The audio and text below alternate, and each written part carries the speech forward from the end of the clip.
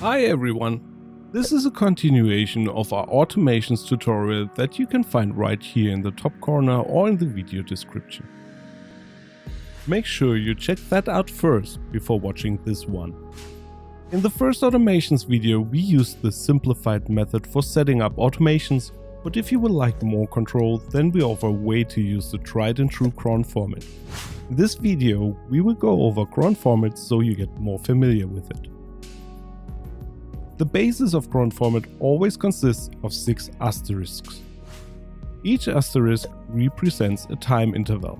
In order, they stand for seconds, minutes, hours, day of the month, month, and day of the week.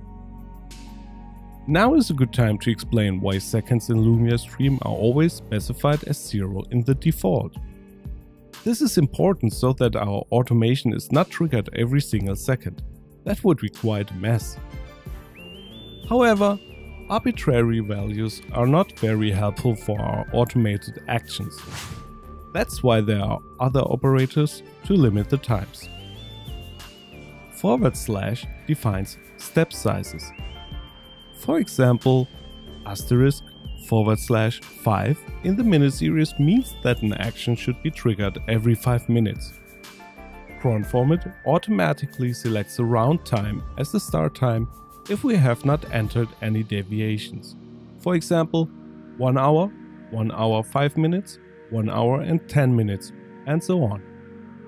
However, since we do not always want to run our automations at the same time, we have to tell cron format in more detail when it should trigger. So we enter for example 3 forward slash 5 in the minutes field. That means as much as trigger every 5 minutes, but only start at minute 3 of the full hour. So it will look like this on our schedule. 1 hour and 3 minutes, 1 hour and 8 minutes, 1 hour and 13 minutes. Since cron format thinks along with you, you don't have to wait until the next hour. If you open the Lumia Stream app at 1 hour and 24 minutes, cron format automatically calculates and triggers your automation at 1 hour and 28 minutes. Now that we know our automation should be triggered and we have entered our interval, your schedule should now look like this 0, 3 forward slash 5, asterisk, asterisk, asterisk, asterisk.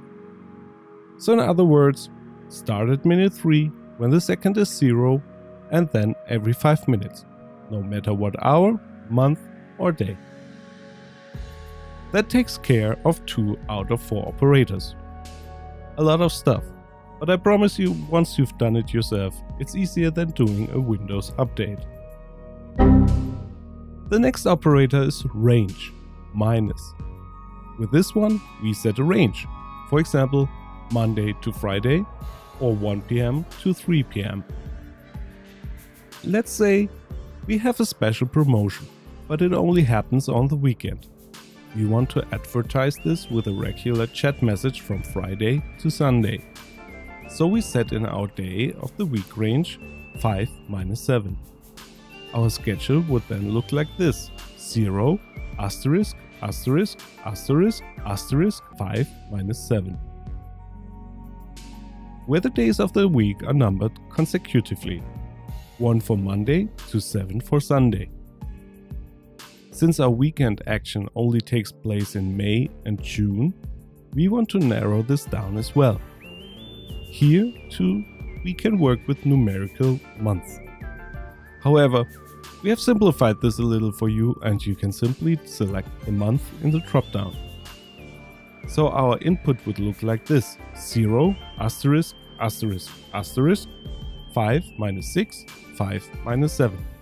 Or 0 asterisk asterisk asterisk May minus June, Fry minus Sun. You can mix all these methods together. The helper text under the cron format helps you to check. That's it for the range selection. Let's move on to the comma. With the comma operator, we can easily enumerate when our automation should be triggered. So we want our message to be sent at minute 3, 16, 28, 44 and 56. Then we enter it exactly like this. 0, 3, 16, 28, 44, 56, asterisk, asterisk, asterisk. Now the automation will be triggered at minute 3, 16, 28, 44 and 56 at second 0 at every hour, month and day of the week. These were the last two operators. You can now mix the four operators together and adapt your automation perfectly to your stream. I bet your favorite operator will be slash forward. What do you think? Share your thoughts with us in the comments below and don't forget to like and subscribe. And have a luminous day.